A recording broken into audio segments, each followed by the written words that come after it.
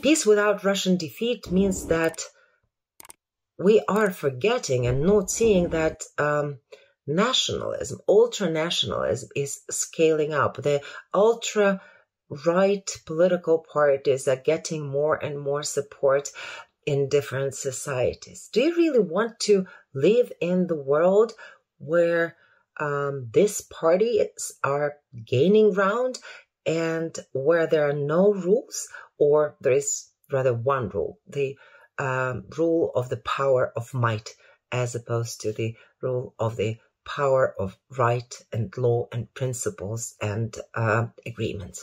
Fourth, peace without Russian defeat only means a postponement of the big war.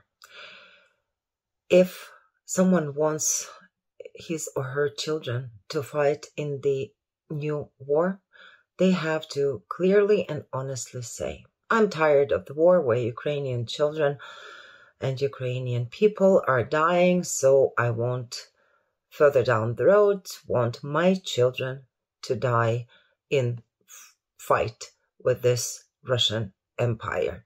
And that will be true, and that will be honest answer. The trick is only to say it out loud, and you can start from saying it to yourselves. We have to understand that peace without Russian defeat um, means that we are getting into peace with the 21st century's Hitler. Putin is absolutely Hitler in the 21st century. Absolutely same methods, absolutely same um, approach. You know, put uh, Hitler was uh, coming into power as a result or a response to humiliation of the defeat of uh, Germany in the First World War.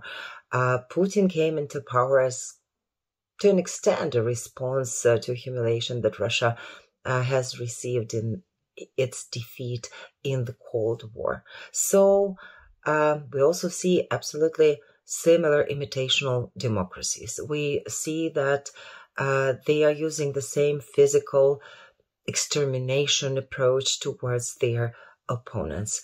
We see that they are using also the same or have been using and are using the same hybrid methods of starting the new wars.